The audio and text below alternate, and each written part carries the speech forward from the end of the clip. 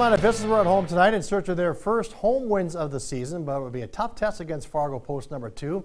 The Vistas were coming off of Saturday's doubleheader sweep at the hands of West Fargo after opening the season with a sweep at Williston. So let's head out to Corbett Field, where it was a nice day for baseball. Let's pick this one up here, top of the first. Fargo's Jace Dew with a nice drive here the other way. But how about the Vistas? Caleb Ring here on the drive or dive, making the nice stop there. Bottom of the first now, the Vistas with a runner on, but pitcher Tyler Thrash gets Jack Plummel to hit into the inning ending 4 6 3 double play.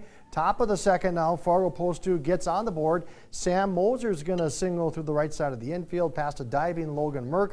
Drew Sandy would score, making it a 1 0 game. Then top of the third, Fargo would add another as Cole Haig is going to rope one down the left field line. That is in for a double. Dew scores all the way from first. That made it 2 0 Fargo. And then the bottom of the third, it's Thrash with back to back strikeouts. He catches Ring looking right here.